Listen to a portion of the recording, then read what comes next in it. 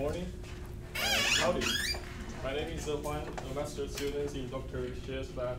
It's my honor to introduce our today's speaker, Dr. Vidu Garg.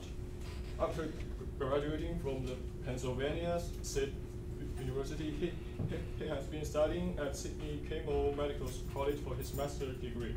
After that, he has studied at the National Children's Hospital in Ohio and then the, in UT Southwestern Medical Center in Dallas. Um, now he's a professor in Department of Pediatric and Department of, of Molecular Genetics in Ohio State University and also the director and the pediatric cardiologist in Nationwide Children's Hospital. Well, uh, during these years, he has published lots of articles in peer-reviewed journals and received many honors and awards. He has also been invited to give the speaker uh, to give lectures in many symposiums and conferences. Um, Dr. Vidu's research is mainly about the mechanism of uh, congenital heart disease, which is the most common type of birth defect. Until now, he has discovered the effect of some genes relevant with the heart development, like GATA4 and TBX5, and how they cause the defect in heart development.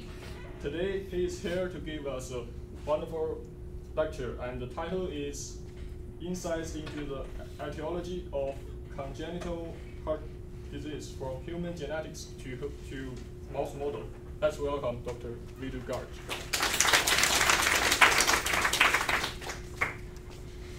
Thank you. Um, thank you for the nice introduction, and thank you, Linglin, for um, inviting me. Um, it's a real pleasure to um, be here and, and visit um, everyone that I met with this morning. It's fun talking science.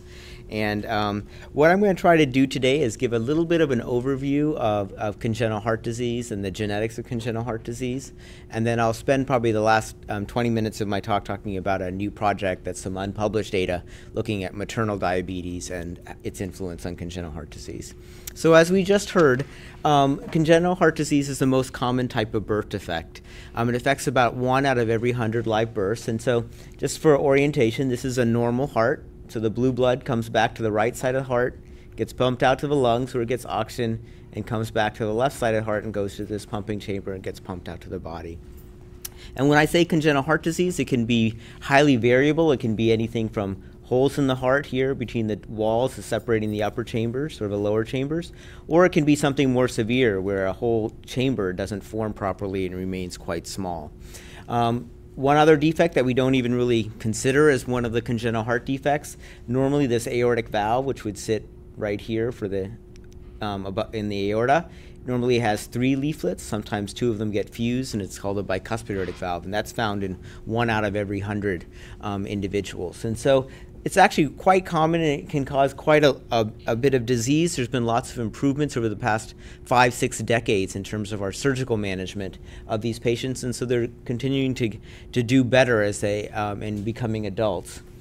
But the etiology for the majority of these cases is unknown. And really, when you simply think about it, what is a congenital heart defect? It's when this process of normal heart development doesn't occur normally. And so, around two weeks gestation, the, the cells that are going to become the, the cardiomyocytes and the cardiac progenitors are formed in the shape of this cardiac crescent. They'll fuse in the midline to form this linear heart tube that beats around three weeks of gestation. It'll undergo rightward looping. And then by about eight, eight to 10 weeks of um, gestation, you're going to have a normal, you know, almost fully uh, mature heart that still needs to undergo a lot of growth and some valvular remodeling, but you already have your four chambers, you have the walls that are dividing the two chambers.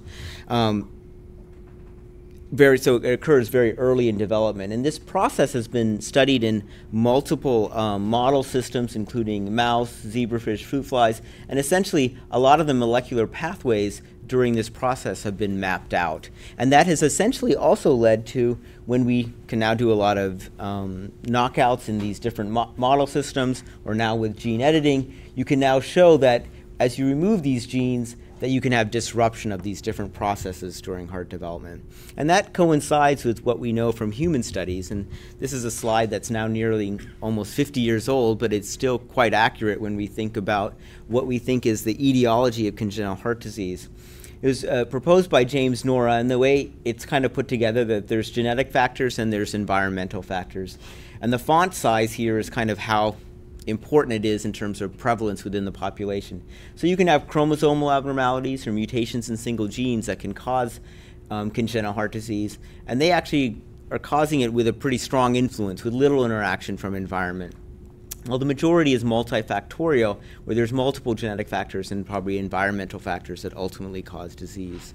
This co concept of genetic factors was borne out by a lot of epidemiology studies that were done in congenital heart disease, where essentially if you had an affected family member, a sibling or a parent, that was the greatest risk factor. So we see that there's an increased recurrence risk within families if you have congenital heart disease. And so clearly genetic evaluation has become important in our, in our patient populations that we see who have congenital heart disease. It started with very early um, technologies in terms of just doing karyotyping and looking at all the chromosomes. Clearly that is useful to some extent, um, but there's limits of detection. There's uh, something called fluorescent in situ hybridization where you can actually use a molecular probe and look for a certain region to see if it's um, present or absent within the chromosomal regions. But again, you have to know where you're looking for it. It's not really applicable to a genome-wide level. But that did lead to advances in our understanding. So we know there's genetic syndromes essentially related to chromosomal aneuploidy, where there's either extra chromosomes or missing pieces of some chromosomes that are associated with a lot of congenital heart defects.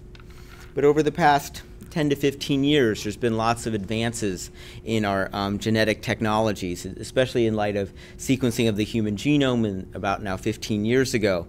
That really allowed us to really move forward in terms of genetic linkage analysis and positional cloning. There's um, techniques where you can do chromosomal microarray where you can actually look for small areas that are either deleted or duplicated within the human genome. And then there's direct sequencing of candidate genes, either by Sanger, some of these genes that have been implicated in animal model systems, or now more recently whole exome and whole genome sequencing. And that really allowed us to gain some more insight into some of these genetic causes, be it for the cause of Marfan syndrome or the gene that we was just mentioned, TBX5 is the cause of Holt-Oram syndrome. So you're beginning to see now that we have more chromosomal abnormalities, if you think of trisomy 21, single gene mutations, primarily in syndromic disease, and this is just a subset that are shown here, that are really becoming increasingly recognized that we know that's the cause of the congenital heart disease that we see. While this has been um, impressive advancements in terms of where we've been over the past 10, 15 years, the majority of cases that we see of congenital heart disease are not those that are associated with syndromes. It's are those that are associated with that's the only defect that we see in terms of these children. And so this is just two large studies that we're looking at um, congenital heart disease, and this portion here in pink is isolated congenital heart disease one in um, kind of purplish colors, are either chromosomal or syndrome, which means that there's additional birth defects that are occurring. And so two thirds to three quarters are, are non syndromic. And that really has been the focus of my research. Um, as a pediatric cardiologist, that's what I see majority of the time is these non syndromic cases. And the questions that parents often want to know is why did this congenital heart defect occur? Um, and so when I initially started at um, UT Southwestern, um, in my training and as a junior faculty member, I was lucky enough to come across this large family, and every person who's shaded in either red or black is an affected individual. And so this family spans five generations. There's 17 people who are affected, and uh, primarily they had holes between the upper chambers or the lower chambers of the heart. And so when you get large families like these, you can go ahead and move to positional cloning approaches and actually try to figure out which part of the genome is linked to the disease. And so we are able to identify a region on chromosome 8 um, in which in that region there li lies an important cardiac transcription factor, GATA4, which I think many of you may have heard about from Linglin's work. Um, and from there, we were able to actually identify the mutation that was causing the disease within this family. And since then, other individuals have looked um, at patients who have um, isolated septal defects and had found different mutations in GATA4 that have been linked to disease. But clearly, that's not the only thing that we want to do. We want to try to understand disease mechanisms and try to understand how can a mutation in a single gene cause disease. And so that's when you can go back to those animal models that we had developed um, in the past. Where We were just knocking out genes, and we've actually been able to knock in this mutation into a mouse. And by re um, inserting this mutation within the, the mouse genome, we can we were able to show that it, it had some functions, but not all the functions of, of GATA4. So it was a hypomorphic mutation. And what was most interesting is that we were able to generate a mouse model that kind of recapitulated the disease that we saw in our human patients. And so this is just an, an ultrasound of the heart, and you can see that there's instead of having a wall where there's no communication, you can see there's communications between the upper chambers of the heart, similar to what we saw in our family members. And the other phenotype, which I didn't talk about within our families, they actually had a subset of them had valve stenosis of the outflow tracts and we were able to also see that. And so this is just an echocardiogram. This is the left ventricle. This is the aorta. Normally you see nice laminar flow, this nice red, or if it's going in a different direction, nice blue to the pulmonary artery. There's an increased velocity that goes along with narrowing. That's um, quantified here in a subset of our, our, our mice. And so we're actually now using this as a model to actually study the development of valve, heart valve disease. In a, in a similar manner, um, we were able to uncover a family that had um, bicuspid aortic valve. That was uh, the defect that I said that's present in 1% of the population. Again, very similar type of approach, large family. They had bicuspid aortic valve. It doesn't really cause a lot of problems um, as children, but usually what happens during adulthood, you can get calcification of these valve leaflets, often requiring valve replacement, or you can get aneurysmal dilation above that valve, right, that sits right here, that can ultimately needs to either to be surgically intervened upon or um, can actually tear and can actually cause lethality. Similar approaches were applied um, with this family, able to identify a single gene called Notch1, um, where we were able to show that it was essentially mutations in the genes that would truncate this receptor um, that would ultimately were associated with disease. And again, I just want to kind of give an overview of what my lab has been doing is we've been then we're kind of lucky in terms of studying some of our um, roles of notch one and valve calcification.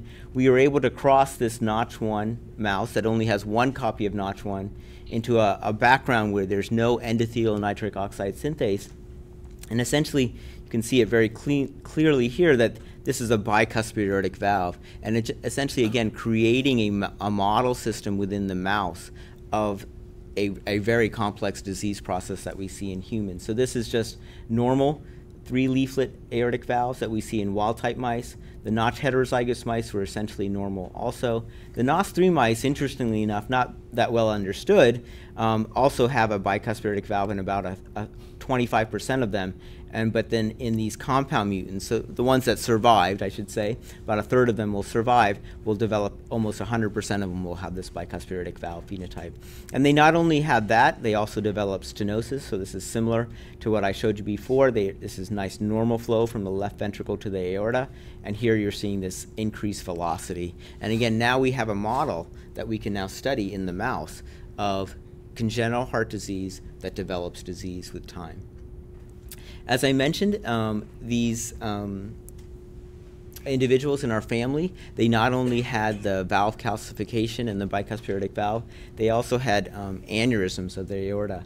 And so this is just kind of a depiction of what we're looking at right here. Um, this is the left ventricle would sit here. This is the aortic valve right here. This is kind of the sinuses of the aorta, and this is the ascending aorta that's going to ultimately go down and supply blood to the whole body. And normally you're going to have this left ventricle and this normal kind of widening and then narrowing. And you can see here in our um, mice that what we ended up doing to try to understand if Notch1 played a role in this aneurysm formation, we actually looked for a genetic interaction with another mouse that's known to have um, dilation, the, the Marfan syndrome mouse. And what we can show is that this Notch1 mutation essentially functioned as a genetic modifier. So with just the wild type, you have a normal aorta. With these compound mutants, again, with Notch1 and fibrillin being mutated, you had a very large aorta, especially in that aneurysmal region. And These are just the different phenotypes, these compound mutants. Here's the fibrillin mouse, the Notch1, and the wild type.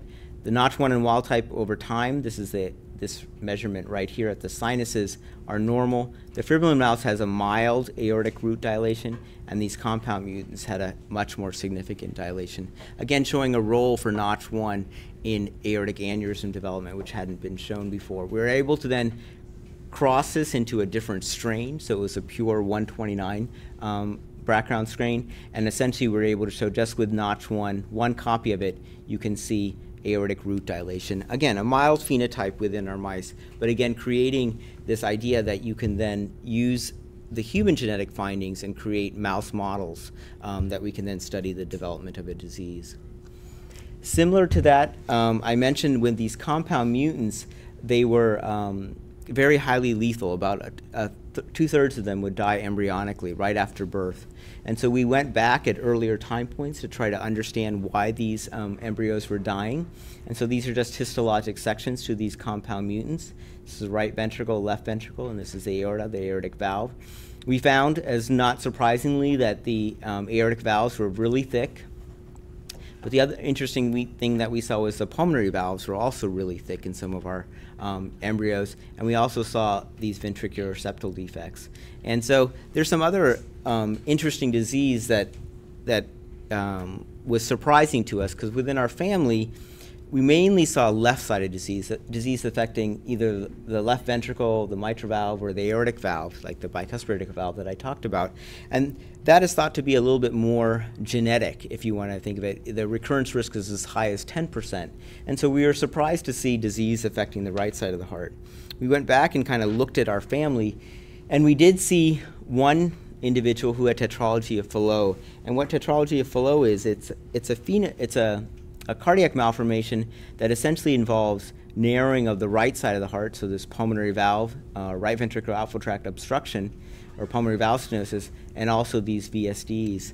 And so we were surprised by that.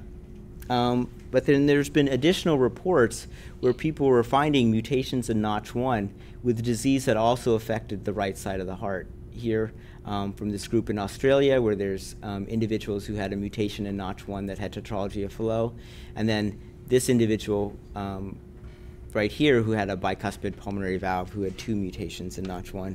And so this has actually kind of allowed us to try to think of genotype phenotype correlations, which actually may be relevant as we move forward in terms of human studies. This is a large study out of um, the Netherlands by the Wessels Group, where they screened 428 individuals who had um, left-sided congenital heart disease.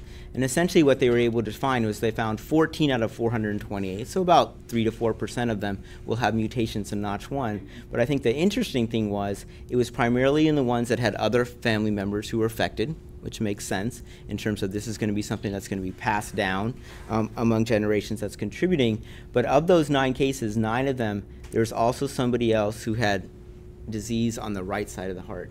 And so as I mentioned, with the GATA4 mutation, people have screened other families with ASDs, atrial septal defects, and they found a lot of mutations. Most of the time, when people were screening for Notch1, this is now 10 years ago, and I would meet investigators, and they'd be like, We've been looking for Notch1 mutations and we don't find any. Because um, valve is relatively common, you didn't really see a lot of um, mutations. It seems like there, there's some sort of a combination here that it's the families that have disease that affects both the right and left side of the heart, that's where you're going to find these mutations in Notch1. And actually, if you go back to the original family, we didn't report it that way or think of it that way, but that's what we had in our original family too. And I think that's where we're going to see the mutations. And I think our mouse models are now recapitulating that exact same phenotype where we're seeing disease on both the right and the left side of the heart. So this is not just my work, but um, a lot of uh, individuals' work where we've now been able to identify an, increasing number of um, genes that are in, important, um, that are single gene mutations that are contributing to disease. They have different levels of um, support in terms of causing disease. I think some are um, better shown than others, but there's an increasing number of um, genes that are contributing to non-syndromic congenital heart disease. So one of the things that we've moved on to um, recently is whole exome and whole genome sequencing. The idea being there that we're now having an increasing number of um, genes that have been implicated in congenital heart disease. Can we use these approaches to discover novel genes? And as everyone here is likely aware, the cost of whole exome and whole genome sequencing is continually going down. Uh, this is almost out of date now. Um, I think we can. I, we recently recruited some new um, genomic scientists, and they're we can do a whole exome for $250 now, and the whole genome is getting into, you know, getting closer and closer to being under $1,000. So how fast can we, um, it, the limitation is no longer um, the cost, it's really, you know, can we find the families and can we find the individuals that we want to sequence? And so we did a, a, a small project. Um, this was a collaboration with Kim McBride, who's a geneticist at my institution, and Peter White, who runs the Biomedical Genomics Core. We took some families that it appeared that it's genetic um, in terms of the disease. They could be septal defects. Um, they could be uh, patent ductus arteriosus, which is a, a, fetal embryonic vessel that normally closes right after birth. Um, or they could be that tetralogy of Fallot phenotype or pulmonary valve stenosis. So we went ahead and uh, took this whole exome sequencing within these families. Um, a lot of this, you know, is just high-end um, sequencing using uh, the Illumina platform. Um, Peter White's group here at, at, Nationwide Children's Hospital had their own pipeline in terms of sequence alignment and um, variant calling. I think when we did this, uh, we were initially very excited in terms of we're going to get the answer right away because these are families and we should be able to see it. One of the hypotheses I actually had was if I had had this technology 10 years ago and I had given one sample of the GATA4 family, it would be obvious that I would just have seen it within one, you know, in, in minutes. Um, reality was this. You get lots of data. You get lots of variants. Um, this is just a, a, it's an example in terms of just, you can use a variety of different um, filtering algorithms to try to reduce the number of variants, but you're still left with a lot of variants. About 250,000, you can start saying, well, congenital heart disease is rare, so it, it, needs to be a variant that's less than 1% of the population. That will reduce it. You can start saying it needs to be um, in the protein coding regions because we don't really understand the non coding genome. You'll get even further. It needs to alter, it needs to change the amino acid. So that will get you, it needs to be predicted to be damaging. You're still left with a lot when you start looking at each, each of these individuals. And I'll show you some examples of how it even, we're still struggling with that in some of our families. And so we, we went backwards and we said, why are we, let's take an approach of we know some of the genes that are implicated and let's start working that way and working forward. With the idea being that we have nine families, some of these have to be much easier to be able to figure out. So we put together, um, a, a, student in my lab put together a list of genes that are um, a candidate gene list, that genes that are are known to cause congenital heart disease in terms of there has to be a published report of at least three sporadic cases. So uh, with a similar phenotype. So you can't have one mutation in bicuspid valve and one in atrial septal defect and one in tetralogy of Fallot. They had to be in the same thing so that there's some concordancy in terms of where these mutations are being identified. Or there was a family where you had multiple family members and you were able to see segregation with the idea being that these are stronger candidate genes. And she came up with a list of about 69 genes. We went back to our data sets that we had from whole exome. We again then said you need it to be rare. It has to be a rare um, amino uh, sequence variant. And then looked for segregation within the family and predicted um, pathogenicity. And so within four of the families, we had a, um, a handful of variants. Now it's much smaller because the number of genes is much smaller. We went from 25,000 to 69. Um, so we were able to quickly identify um, some very interesting candidate genes. And three of them, we used a, a, criteria that's actually been used clinically, the American College of Medical Genetics criteria, in terms of saying is this thing is this variant pathogenic. And there were three genes, uh, three families we found likely pathogenic genes, GATA4 in an atrial septal defect family, uh, tolloid-like 1 in another atrial septal defect family, and myosin he heavy chain 11 in a patent ductus arteriosus family. And so I just want to briefly just kind of show you the three families and just kind of some of the limitations. And so when I showed you those original families with GATA4 and Notch1, that was when I was young. I was a junior faculty member, and we were, I was driving all over Texas and Dallas to try to get patient families. And so I had almost everyone in that family. reality is you're now more I'm a more senior investigator, and so in this family, even though there was multiple people who were affected, we only had two individuals, these two that were affected with atrial septal defects. And this um, family, again, multiple people who were affected. We only had one affected and one unaffected.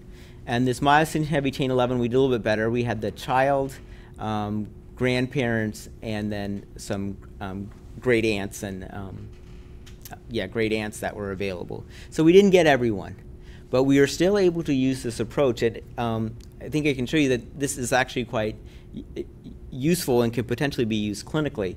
Um, within the GATA4 family, this is a variant that this um, glycine to tryptophan that had never been reported for.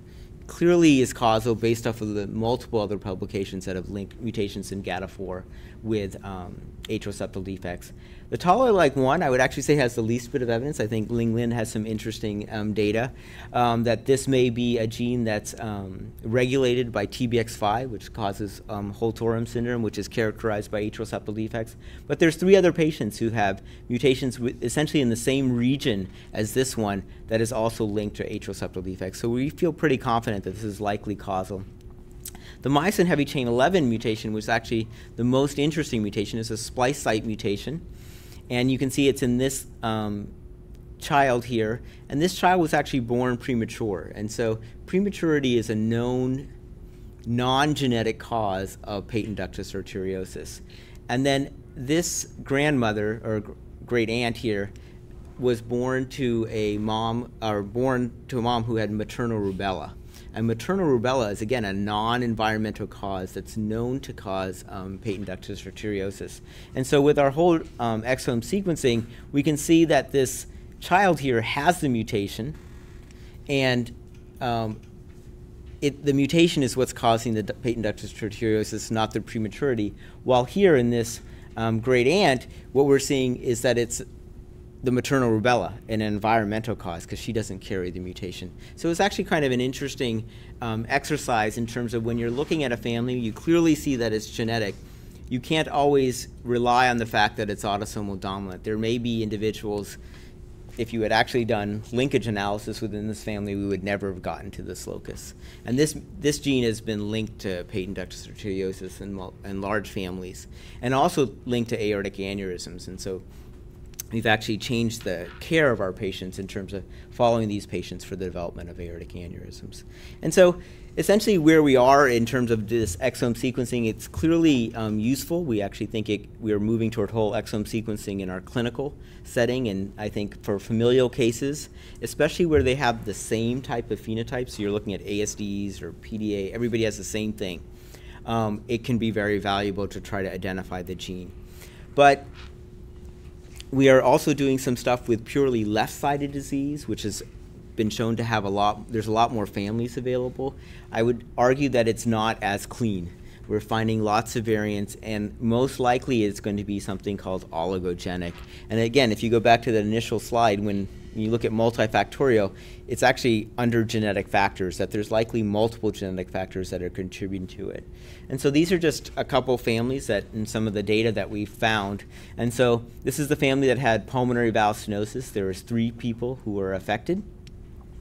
And as you can see, we can find variants. This TCF7L1 is an important member of the Wnt signaling pathway.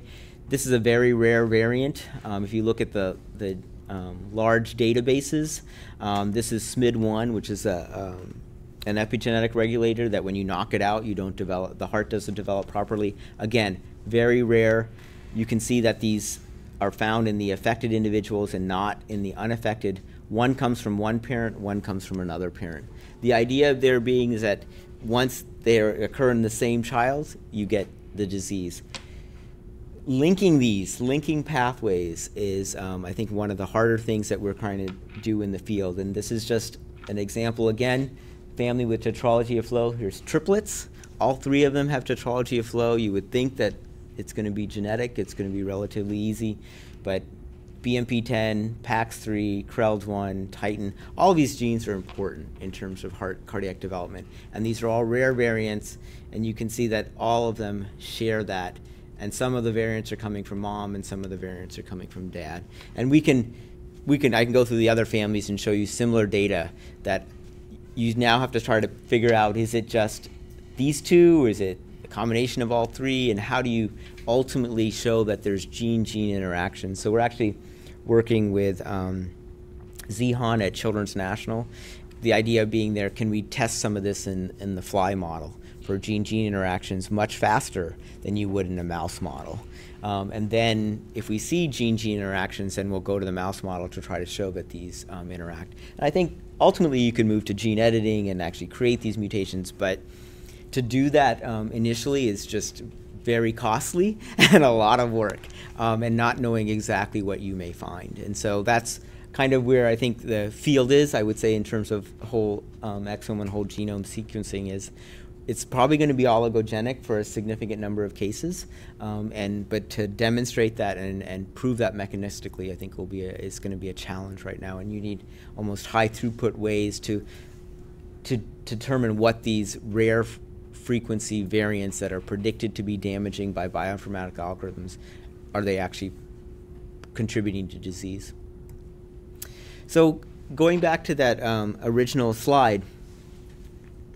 Um, one of the you know the other thing that's kind of sitting over here on, on on the on our right side of the slide is environment, and that's really kind of not really been that well studied, I would say, within um, our field. We've seen so many advancements in, in our you know in um, analyzing the genome, we focused on these genetic factors. And I think we've made a lot of headway in terms of trying to understand the genetic contributors to congenital heart disease. But it's clearly not explaining everything. And so we started, embarked on a project looking at gene environment interaction, and we kind of went at the the one that's probably the best well described in terms of being a risk factor, and that's maternal diabetes. And this is a paper from 1973 by um, Alexander Natus, who is a senior cardiologist at Boston Children's. And essentially, what he's showing here is that there's an increased risk. Um, they looked at 470 infants of diabetic mothers, and they had a 4% incidence of congenital heart disease, so five times greater than the 0.8 to 1% that's normally seen. And again, in the paper, he refers back to um, the James Nora hypothesis that there's multifactorial etiologies to disease and that there's gene environment interactions. Um, and I think here, you know, congenital heart diseases are not all one disease. There's a hereditary predisposition determined by many genes, and an environmental trigger acts on the predisposed individual. And I think that's where, at least my thought process as we're moving forward in terms of these rare variants that we see with our whole exome sequencing, this is likely what we're going to see. Now, how do you connect um, environmental triggers to genetic predisposition?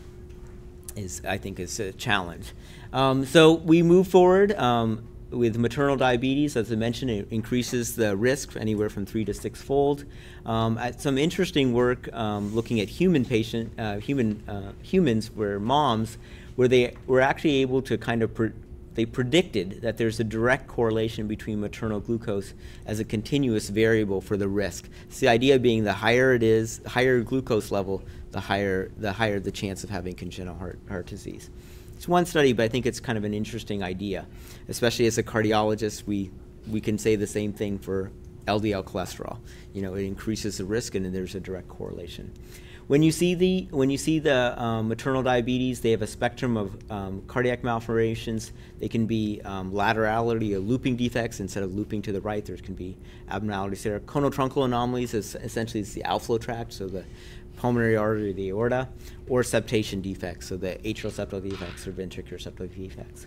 The molecular mechanisms are essentially unknown, but um, as many of you know, it's, it's uh, thought to be predicted to be epigenetic. And epigenetics, um, I think I, I, spoke to like Nancy here about DNA methylation as one um, um, area, histone, um, post-translational modifications, and then even microRNAs or long non-coding RNAs as, as potential um, methods to uh, as mechanisms for how hyperglycemia is leading to um, congenital heart disease.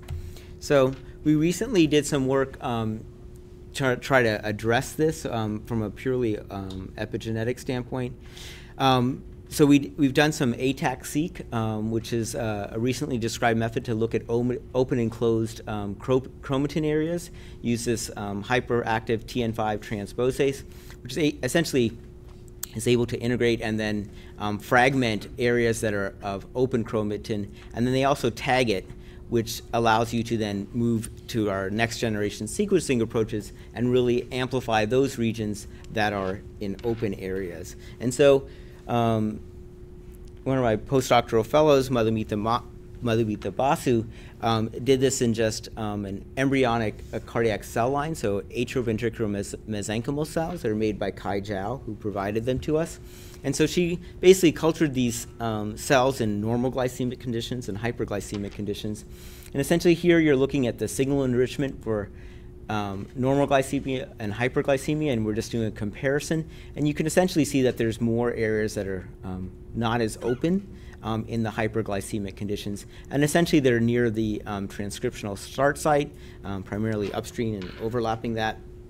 And so when we, we are, we've analyzed this data, and I just want to focus on one thing that we saw that was quite interesting, specifically at the NOS3 locus. So this is endothelial nitric oxide synthase you can see the, the peaks here are the open areas um, uh, where um, there's open chromatin, which is likely where there's um, enhancer regions.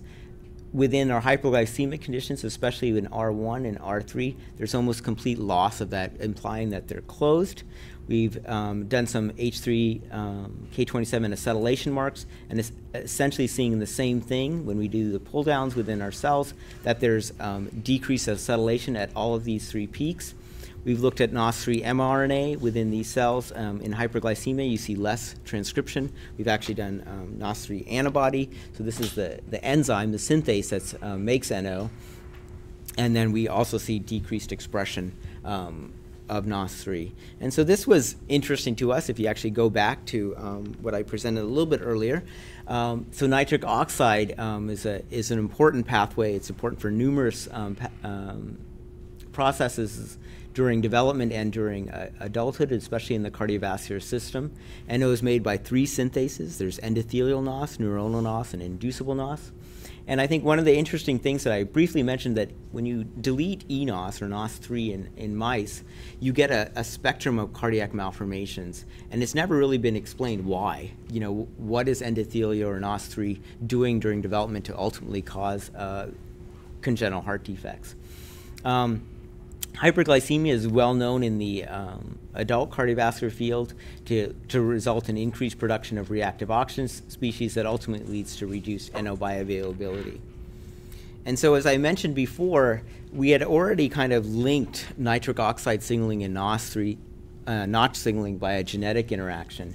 Um, and so, as I mentioned, mutations in Notch1 cause human disease, and we were able to recapitulate that when we had compound mutants, where you had one copy of Notch1 and no um, NOS3. And you saw a spectrum of things from conotruncal disease to semilunar valve disease. And just to briefly tell you about the Notch1 signaling pathway, it's an intracellular pathway, um, membrane-bound um, membrane-bound receptors, and essentially this is the Notch1 receptor. It interacts with two families of ligands, the jagged and the delta-like family of ligands. Once you have, um, and they're both membrane-bound, so it's cell-cell interaction. Once you have um, binding of the receptor. There's a series of cleavages that allows the Notch1 intracellular domain to translate, translocate to the nucleus where it essentially functions as a transcription factor. And so this provided a lot of evidence to start looking at a potential interaction between hyperglycemia and Notch signaling, with the idea there that hyperglycemia is reducing NO nitric oxide endothelial nitric oxide by an, an epigenetic mechanism, and then we've already had previously demonstrated that NO and Notch seem to have an interaction. So we wanted to see is there an interaction between hyperglycemia and Notch signaling. And so we used the, the AVM cells that I mentioned before, cultured in both um, high and low, normal and high glucose conditions, and then we used a mouse model, which is more of a type 1 type diabetes mouse model, where we um, introduced streptozotocin um, intraperitoneally that's um, toxic to the um, islet cells uh, that make in insulin, and we we kept them mildly hyperglycemic. You can make them higher and get more severe defects, but we are probably more between the two to 300 um, range in terms of our hyperglycemia. So, as one would expect, um, within our um, when we exposed, um, looked at the cells and or embryos that were exposed to um, high glucose, we saw an increase in, in ROS as shown here. And this is in the cells, and this is within the um, embryonic heart at E13.5 with increased ROS as measured by DHE staining. And correlate with that, when we see the increased in ROS, we also saw a decrease in nitric oxide signaling. Interesting that NO seemed to be dropping off much more around the um, AV cushions and the and the valve leaflets um, as opposed to the myocardium. I'm not sure exactly if there's other um, mechanisms for um, NO production that are leading to some of that um, differences in expression there. So we also went to see, you know, does hyperglycemia affect Notch signaling? So again, using our um, cell-based system, we looked at Notch and some of its downstream targets are HEY1 and HEY2 ephrins and neuregulin 1. And at, at, from an mRNA level, we saw a, a decrease um, with hyperglycemia. We also see um, Notch1 intracellular domain, as I mentioned, is the active form. You see with hyperglycemia, you see at 48 hours, there's a decreased expression of NICD, also decreased expression of HEY2, and this is just the quantification there. Um, similarly, when we looked within the mouse heart, so this is the mouse embryonic heart that's been exposed to maternal diabetes, we see a similar decrease in expression, and this is by um, protein expression looking specifically at NICD. You again see um, down, um, decreased expression within the heart um, in the diabetic embryos. We then, then actually tested the gene environment interaction.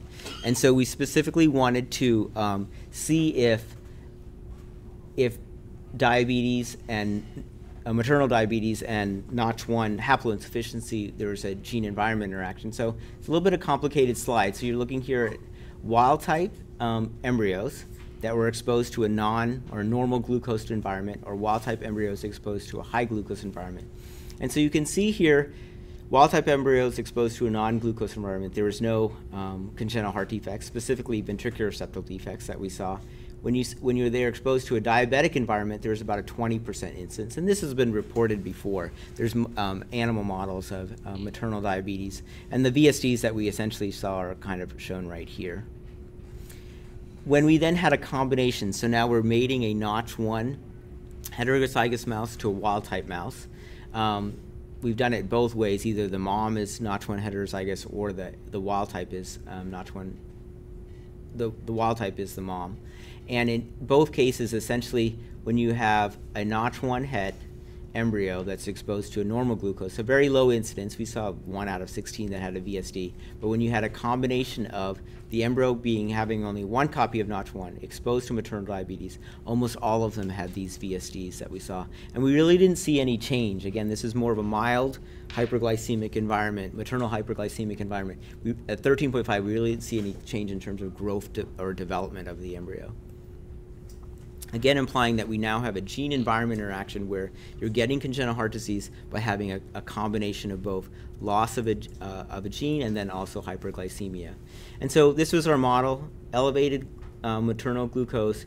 You see increased ROS, decreased NO. The, the decreased NO is probably also related from a transcriptional level. And then you saw a decrease of signaling between in the of the notch pathway to ultimately lead to these VSDs. And so we then were attempting to connect these two pathways. And so NO has also been proposed to be an epigenetic regulator of gene expression, specifically by interacting with this Jumanji C domaining uh, containing demethylases. And that was very interesting to us because one of these um, Jumanji C domaining um, demethylases has been shown to regulate Notch1, specifically Jared2 contains a DNA binding in the Jumanji C domain.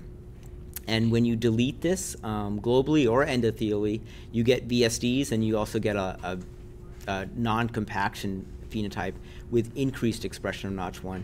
Essentially, what happens is with Jared2, um, will interact with SETDB1, which is an H3K9 methyltransferase, to repress expression of Notch1. And that's essentially, it's been shown by Young Suk Lee's lab at um, Wisconsin, University of Wisconsin, to show this pathway in terms of how Jared2 and Notch are, are or Jared2 is regulating Notch through um, SETDB1. So we asked those specific questions in our in our systems, do we see um, upregulation of JRED2? And, and so both within our cells and in, in our mouse hearts, you can see here at 48 hours, this is JRED2 mRNA expression by um, RT-PCR. You can see upregulation. You can see upregulation at the protein level.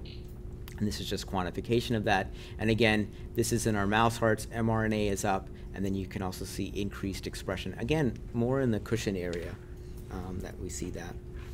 Um, we then tested the uh, importance of JRED2, and so this is just knocking down JRED2 within our in our cell line, our AVM cell lines. And again, the, the main points here are that normally when you look at Notch1 expression, you go to from normal glucose to high glucose, this is with a control, you see Notch1 to go down. Once you add the JRED2 siRNA, you see that expression of Notch1 is back up, and that's shown here again. Same idea, um, JRED2 goes up with hyperglycemia. Once you have siRNA, you see that JRED2 goes back down and Notch1 expression comes back up, especially Notch1 intracellular domain. And we wanted to see the role of NO donor in this process. Again, going back to our cell line, essentially we were able to show once you add the NO donor um, in the hyperglycemic conditions, you're able to knock down that expression of JRED2 and rescue um, expression of the Notch1 intracellular domain.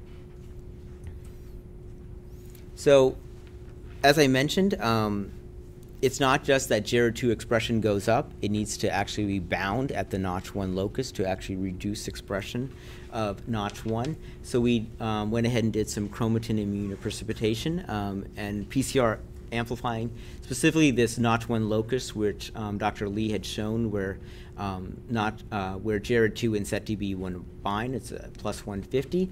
And so what she was able to do is she went ahead and pulled down with um, JRED2 and amplified this region. And you can see once you're in hyperglycemia, there's not just more JRED2, it's actually bound to the Notch1 locus.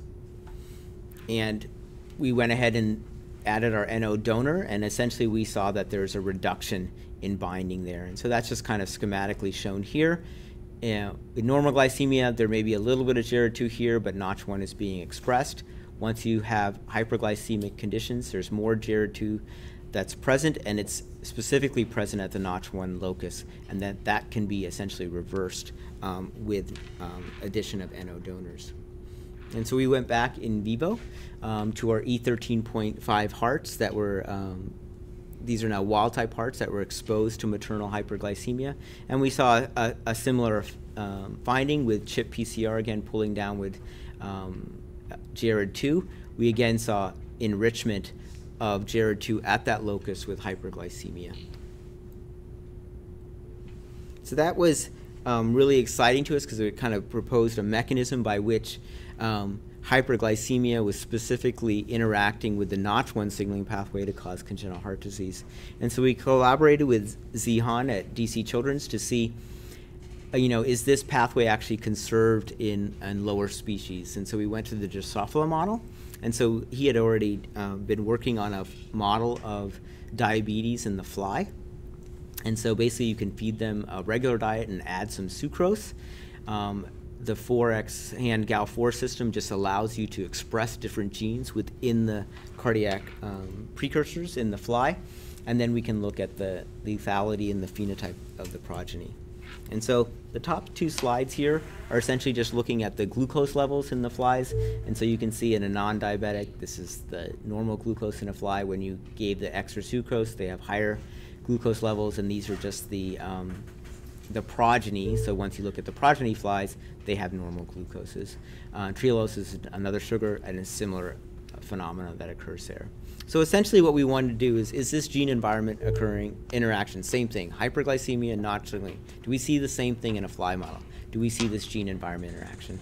And so in a fly, I mentioned he has this um, a hand um, enhancer that can drive um, expression specifically in the in the cardiac cells. And so we use three different ways to knock down um, Notch1 signaling, just like we did in the mouse. We use the Notch1 heterozygote mouse. Here he can overexpress JRED2, which I mentioned, that's going to reduce Notch1. You can, NUM is a known um, inhibitor of Notch1 signaling, so if you overexpress that, you'll get decrease, and you can just use RNAi and, and knock it down in the fly.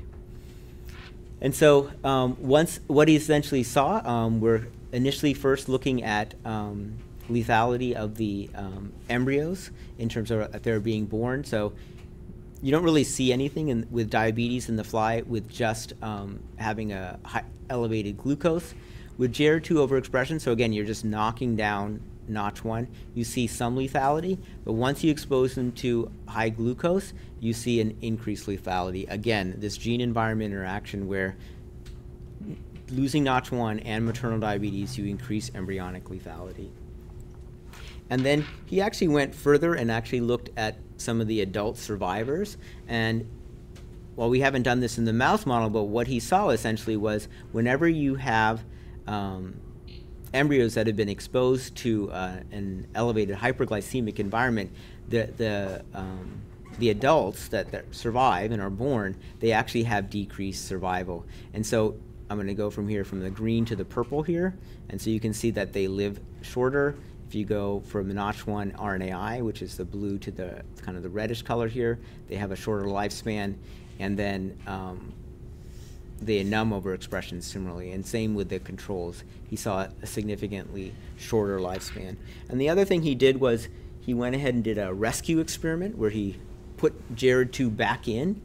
And while we didn't see any change in embryonic lethality, we saw an improvement in terms of their adult survival, so that instead of you know having this shortened survival, they actually moved back up um, in terms of surviving at a more normal time. This would be coming from here to here.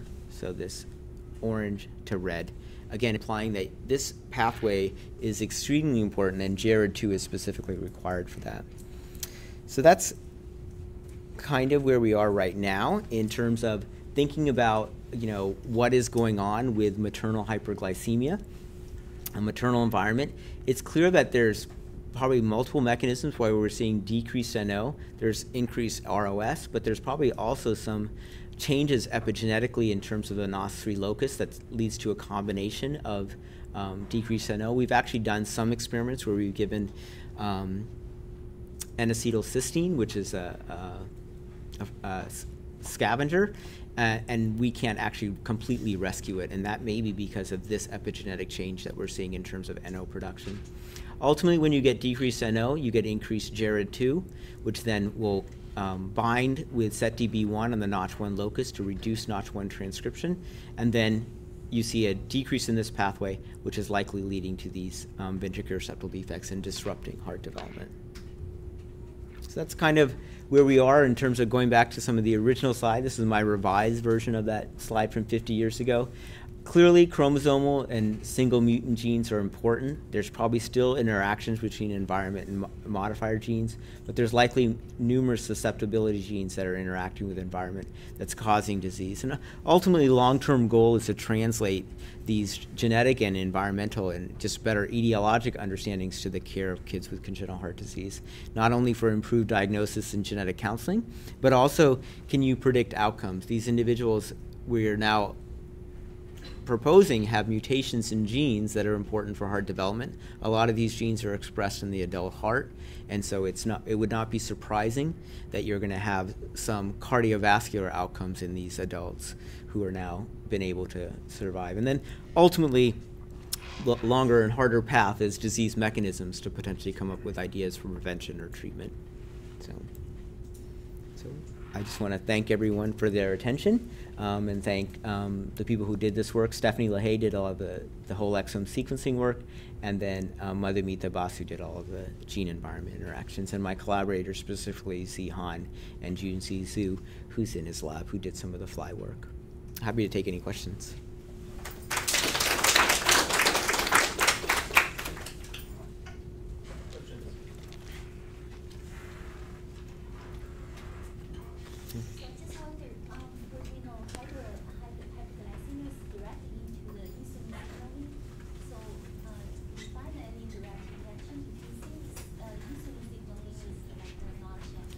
Yeah, so th that's a good question. So the one question is: Is insulin signaling affecting? It, you know, is are the embryos hyperinsulinic? We haven't measured that directly. Um, I will say this: that the the pancreas is developing. I mean, the initial time when you even see PDX1 is like E9.5, E10.5. And so, how hyperinsulinic could you be? That's one question. Even at that very early stage when you're, you know, the heart is the first organ to form, so how much of an effect are we going to have? I think the other thing is we've done some stuff in, with chick embryos and exposed them to hyperglycemia, and we're able to show, show in that in that model system that we can get congenital heart defects. And uh, also, a lot of our stuff is being done in AVM cells. Though it's a cell culture system, I don't think we're going to have any. The, the gene expression patterns we're seeing, there's no elevated insulin levels in, in those cells. So that's why we would argue. And people have always argued that hyperglycemia is the primary teratogen in maternal diabetes. But that is something that we cannot formally rule out. But that, that's our evidence to say that it's probably not what's causing it.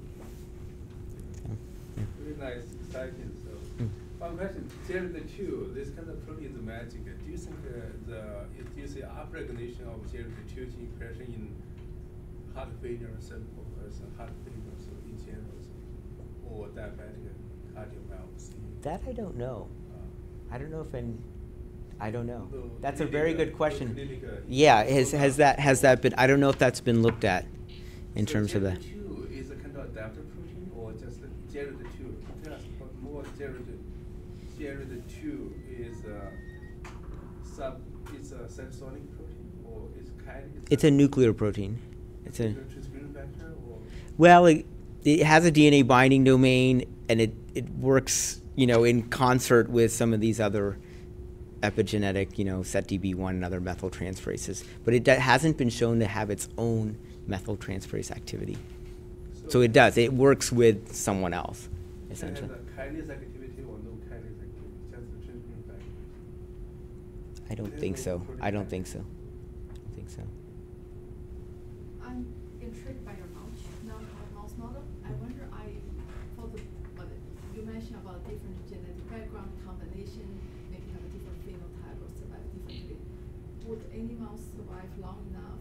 Have you be able to look whether there's direct action in beta cells?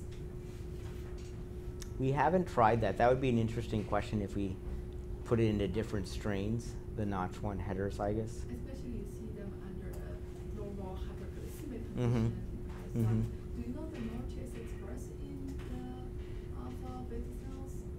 In the in the pancreas? Yeah.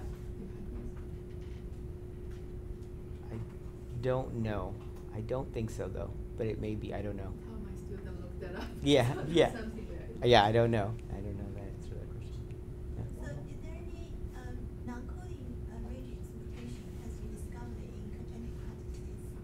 Non-coding, yes. So there's some work by um, Marcello Nobrega where he reported a non-coding mutation in a human patient for TBX5, and that was a regular. So there is. I mean, I I leave that out, but there is, you know, but we don't haven't fully understood like where are all the non-coding regions and where are the variants. But I'm sure there are.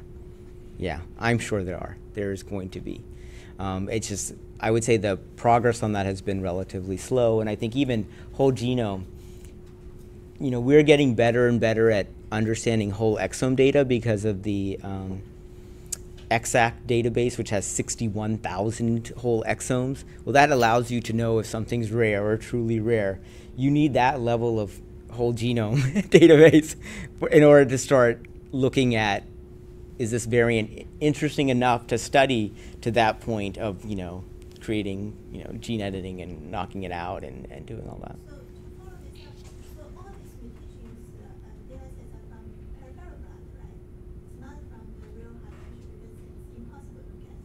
Yeah.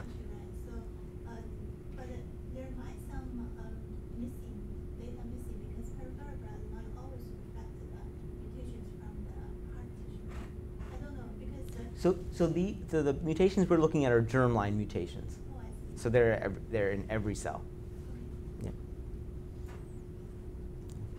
Uh, I have one more question about the, the age correlation for Norch. Do you know if there's any expression correlate with different stage in development, particularly with aging? For the reason I ask you that question because you saw one data as in two months all mice uh, versus nine, seems that I remember correctly, the Yeah, yeah. the phenotype is much more pronounced. Mhm. And also you about this black box genetic, epigenetic black Yeah. box, we don't know what's regulated. They're, I mean, I think they're, aging. yes. aging could be playing a role from an epigenetic standpoint. I haven't looked at those later time points if there's a change in gene expression. So I don't know about How that. long maximally those mice will survive? Um, the Notch one heterozygous, they'll. I mean, we we haven't aged them, but I would guarantee at least a year, year and a half. Yeah, yeah. Because it's very mild dilation. I wouldn't expect them there that they're gonna drop dead. I would be surprised if they did that. Okay, so there will be um, lunch after this, and please note, if you're a student, um, you are invited to the lunch, even if you're not currently enrolled in, in this as a class. Um, if you attend seminar, we invite you to uh, go to the lunch, so please do that. Um, and thank you, to, as usual, to everyone for their attendance. Um, and please join me